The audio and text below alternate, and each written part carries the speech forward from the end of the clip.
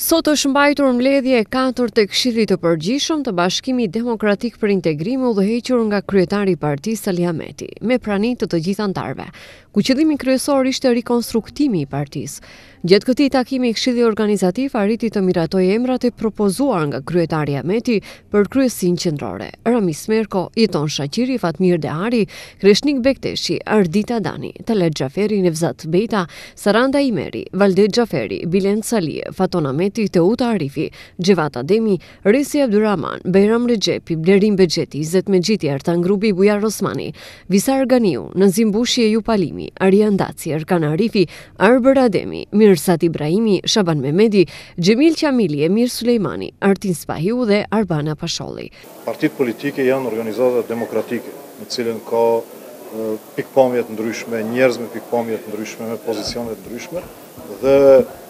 partitë e suksesshme janë ata të cilat mund t'i menaxhojnë ato pikëpamje dhe t'i shndërrojnë në një përpjekje të përbashkët për t'u shërbyer njerëzve. Partitë të cilat nuk kanë lidership të tillë ose liderë të tillë siç kemi ne, ose nuk kanë kapacitet për t'i menaxhuar pikëpamjet e njerëzve brenda organizatës, ato dështojnë. BDI është treguar e suksesshme në këto njëzet vite pikërisht se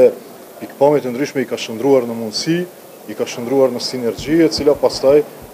është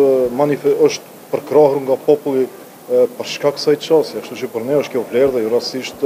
kryetari Ahmeti vendosi që ju të jeni brenda gjatë gjithë kësaj kohe, po të kishte ndonjë frikë nga debatet e mbrendshme, ne sigurisht do i mbyllnim dyert dhe unë mendoj që në historinë e partive politike është hera e parë që mediumet të marrin pjesë në të gjitha punimet e Këshillit të Përgjithshëm, se ne ashtu e shohim vlerën e një organizate demokratike e cila ka kapacitet. Këshilli i Përgjithshëm me unanimitet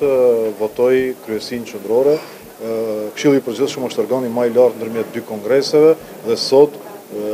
absolutisht mbështetje unanime me konsenzus të plotë u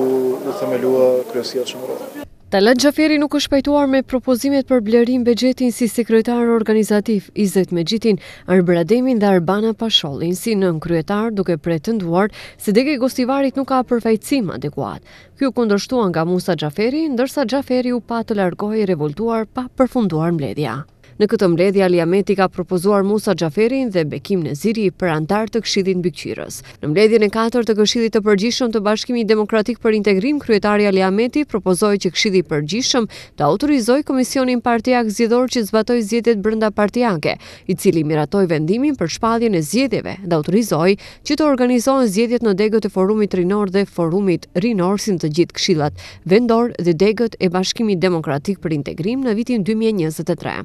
Viti dy mijë e njëzet e tre është vit zgjedhor në Bashkimin Demokratik për Integrim në të gjithë këshillat vendor dhe në degë, përveç në degët ku zgjedhjet u zhvilluan këtë vit, ndërkohë që në vjeshtë të vitit dy mijë e njëzet e tre pritet që të organizohet edhe Kongresi i pestë Zgjedhor i BDI-së. Pritet që formimi dhe puna e organeve të rezultojë me analiza dhe vendime për të ardhmen, Kjo vjen si rezultat i letrës së hapur që i ashtuquajturi Grupi i Zjarrit ia dërgoi Ali Ahmetit duke shprehur pakënaqësi nga puna e zëvendëskryeministrit Grubi dhe mosfunksionimit për një periudhë të gjatë të trupave partiake.